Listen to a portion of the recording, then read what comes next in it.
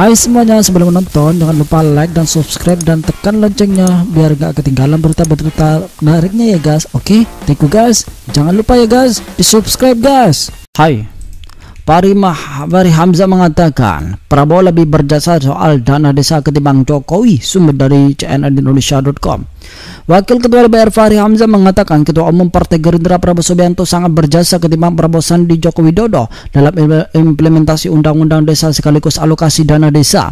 Pernyataan Fahri disampaikan untuk membantah klaim Menteri Dalam Negeri Cahyo Kumolo yang mengesankan kebijakan anggaran dana desa dikeluarkan sejak era Jokowi menjadi presiden.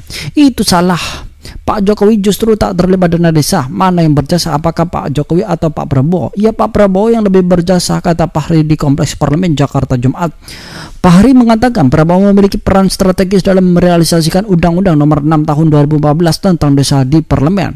Prabowo dalam hal ini berperan sebagai promotor untuk menggerakkan seluruh fraksi Gerindra di DPR menyetujui undang-undang tersebut.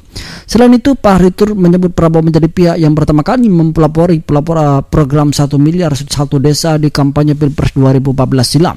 Karena Pak Prabowo pertama dia termasuk promotor undang-undang desa. Kedua, dalam Pilpres lalu dia berjanji anggaran 1 miliar satu desa kata dia.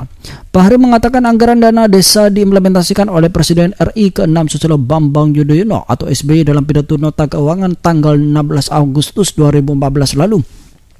Anggaran desa pertama dicantumkan oleh SBY untuk tahun 2015 dalam pidato nota keuangan 16 Agustus 2014 dan lalu Pak Prabowo mendukung pencantuman 9 triliun untuk alokasi dana desa, kata dia. Fahri mengatakan saat perumusan undang-undang desa itu Jokowi belum memiliki keuangan uh, kekuasaan apa pun untuk berhubungan dengan DPR sebab kala itu Jokowi masih menjabat sebagai gubernur DKI Jakarta. Nah, Pak Jokowi belum jadi apa-apa saat itu. Artinya dia belum berhubungan dengan DPR dengan proses legislasi kata Pahri. Sumber dari cnnindonesia.com dan bagaimana komentar Anda?